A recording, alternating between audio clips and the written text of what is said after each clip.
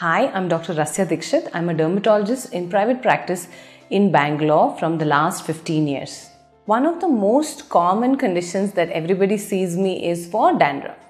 And we differentiate dandruff from skin disorders of the scalp, which may be either a seborrheic dermatitis, a sebopsoriasis, or a psoriasis of the scalp, which cause more thick, flaky scalp, and this could actually cause your hair to also uh, be lost in patches and clumps. So it is very important when you have dandruff which is not generally responsive to your regular over-the-counter anti-dandruff shampoos to meet a dermatologist. The reason is that this could be a marker of something little bit more complicated than a simple dandruff. It could be indicating some skin disorders.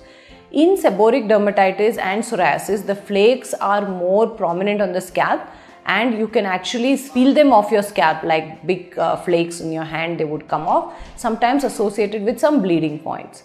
And the treatment is to use specific corticosteroid based lotions and tar based lotions. You could also be given some narrowband UVB comb therapy which could reduce the amount of flakiness of the scalp.